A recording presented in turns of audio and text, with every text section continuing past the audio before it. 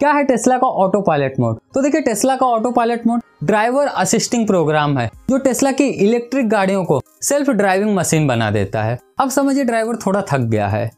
अब उसको आराम करना है। तो ना वो अपनी गाड़ी को ऑटो पायलट मोड में डाल सकता है और आराम कर सकता है। अब ऑटो पायलट मोड यहाँ पे गाड़ी की स्पीड को कंट्रोल कर सकता है। गाड़ी पे ज़रूरत पड़ने पे ब्रेक लगा सकता है। गाड़ी के अगल बगल चीज़ों पे पूरा निगरानी कर सकता है। मतलब बहुत सी यहाँ पे छोटी छोटी चीज़ें हैं जो ऑटो पायलट मोड कंट्रोल कर सकता है। वैसे एक बात याद रखना है आपको, इसके लिए ना टेस्ला को अलग से पैसे देने पड़ते हैं। मतलब कि ये प्रोग्राम को ना कार के साथ अलग से खरीदना पड़ता है। तो और ऐसे ही और इंटरेस्टिंग वीडियोस देखने के लिए वीडियो को लाइक और चैनल को सब्सक्राइब ज़रूर कर लीजिएगा।